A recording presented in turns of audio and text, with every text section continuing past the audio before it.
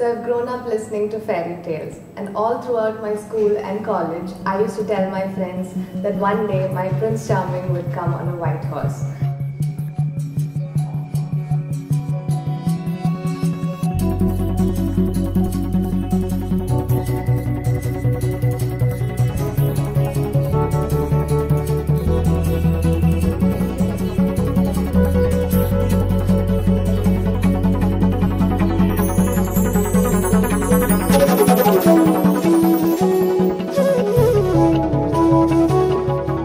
Perfect Prince Charming on the white horse. But adulting was nothing like the prince's stories.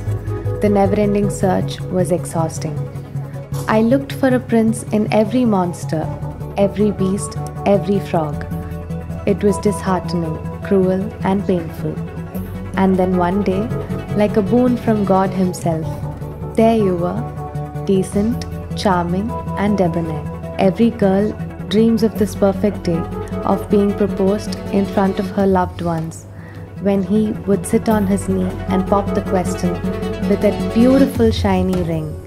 The answer is only yes, yes, and yes.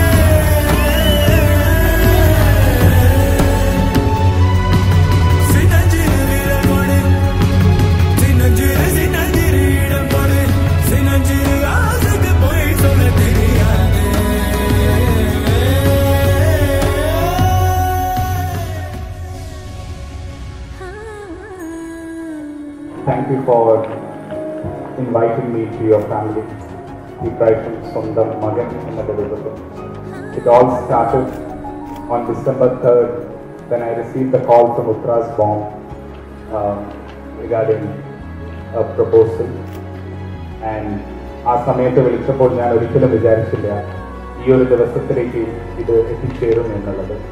ഒരുപാട് ഒരുപാട് സന്തോഷം. Thank you